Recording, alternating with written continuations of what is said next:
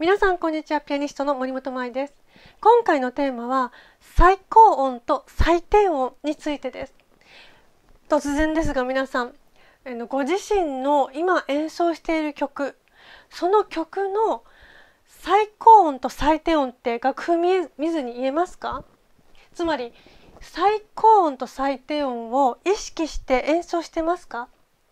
この問いには多くの人がノーですよね。そこまで考えてないですよね。でも、えっと、尊敬すべき作曲家たちは自分の作品ね自分の命を注いでいる作品に対してここが最高音だって意識してないわけがないじゃないですか。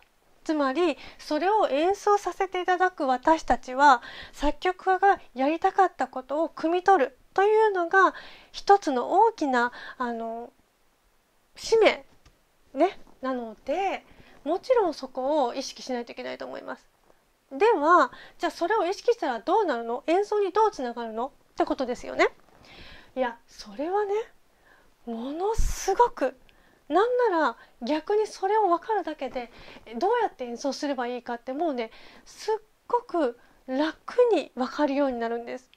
じゃあ例えばね私の大好きなベートーベンベートーベンのソナタで、まあ、ベートーベンのソナタを、えーと、動画で取り上げる時はもう基本的には有名な曲にしようと思うんですけど、えーと、ベートーベンの国別のソナタその1楽章の助走のとこアダージョはまあいいとして、えーと、そこのアレグロ17小節からねでそここの国別ってさこう上がるとこがすごく素敵なの。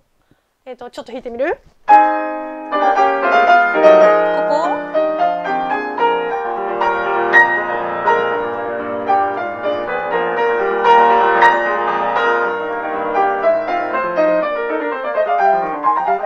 こねでやっぱりトントントンってこうすごくかっこいいですよね。もうこれをこんな作曲を作れるベートーベンのあの凄さもうただただ身にしみるだけっそういう感じなんですけれども、まあ、本当にす素敵すぎて私は大好きですよ皆さん好きですよね。で例えば今ソッシーシーってもうやっぱ気持ち的にはさもう上がるよねでもちろん上がってるのって正解正解なんだけど曲っていうのは一つをここだけ見ちゃダメなの。やっぱり一つの作品全てを見てパズルを埋め合わせるように一つ一つとみね紐解いていくの。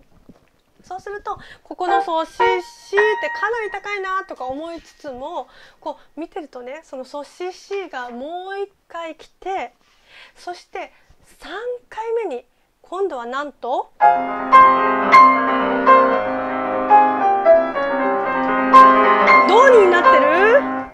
ってるドになってるんです。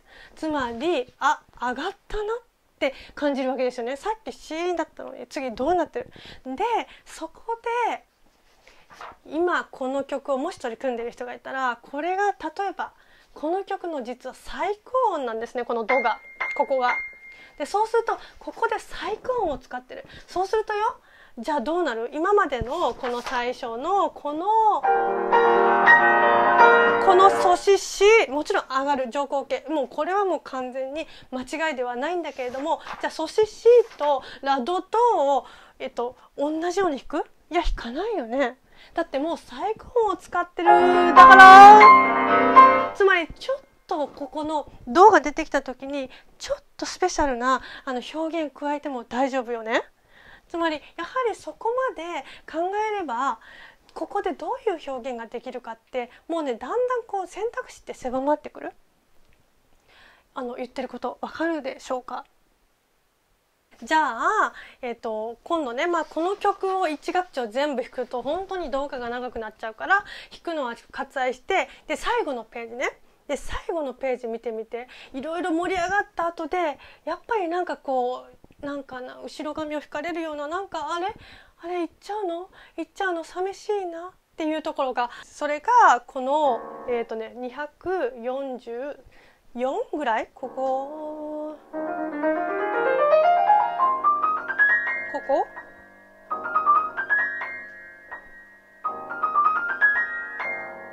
こう。で最後。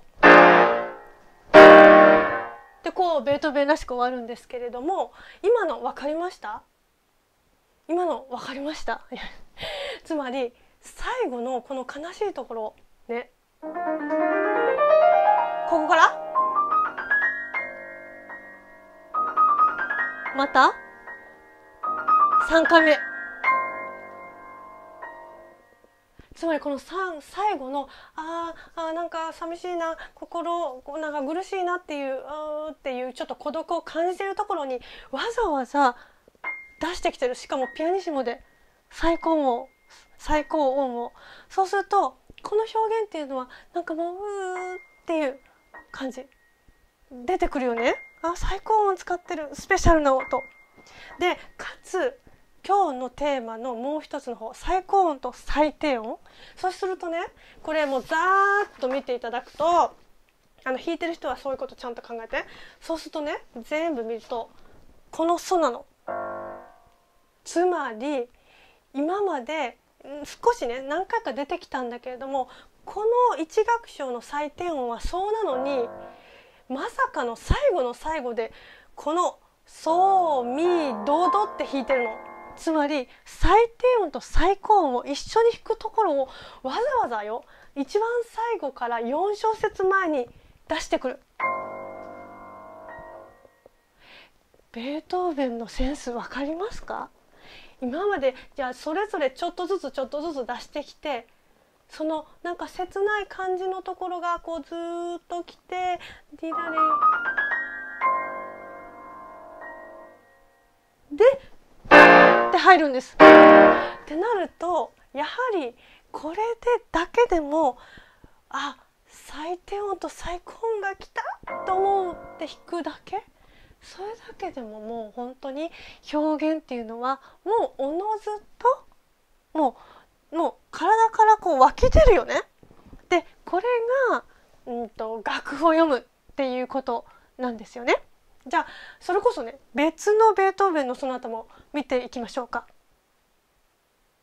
それではベートーベンの悲壮ソナタ三楽章を、えっと、見ていきたいと思います。これ有名な曲だから、えっと、弾かれる方多いと思います。えっと、こんな感じね。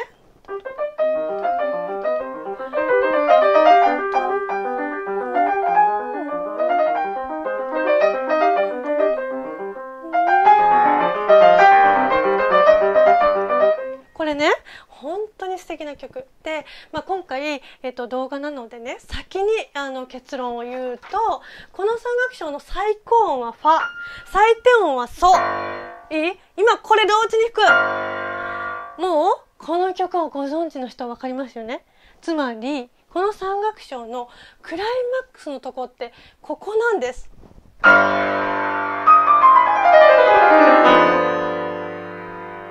わかる？つまりもうクライマックスに最高音と最低音出してる。この幅とこのなんていうの？こう切ないっていうかもう辛い思いっていうのをこのソとファつまりなえっ、とえっ、と不協和音っていうのね。隣の音ってこれ。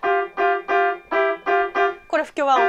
でこれを見つけることによってまあそのうっとした思いを出しているんだけどでまさかのやっぱり先ほどと一緒でベートーベンは最高音と最低音を使ってそれを表現に表してるんです。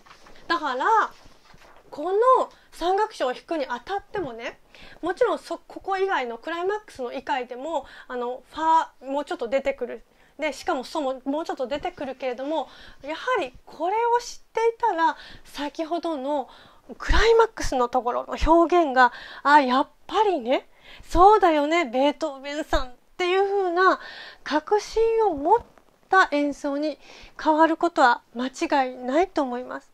やはりこういう風な楽譜の読み方をできる人が一人でも多くあの増えてね、言っていただけたらあのクラシックの良さとクラシックの奥深さ素晴らしさがさらにあの皆さんにね分かってもらえるんじゃないかと思うしかつ演奏も上手くなること間違いなしです。ぜひあの皆さん最高音と最低音というのを、うんと、これからあの演奏するにあたって、えっと、気をつけていただければと思います。今日はこの辺かな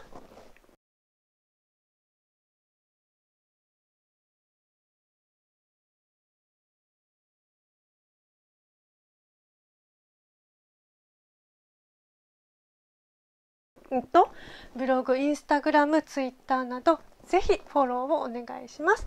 あのフォローしていただいたら本当にあの嬉しく思います。えっとそうね。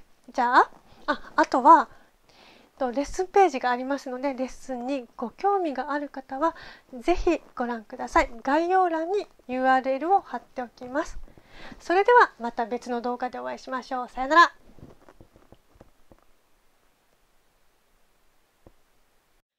動画をご覧くださりありがとうございますもし少しでも役に立ったまた見たいなと思ってくださる方はグッドボタンをお願いしますチャンネル登録も大変嬉しいです。